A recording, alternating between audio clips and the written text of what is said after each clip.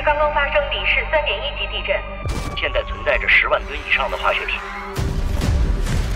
如果爆炸，一百平方公里以内的人和动物将遭受灭顶之灾。已经连续两次爆炸，还会有第三次爆炸的可能。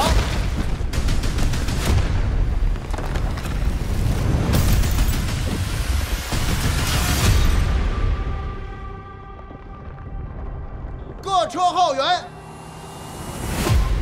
跟我进入现场。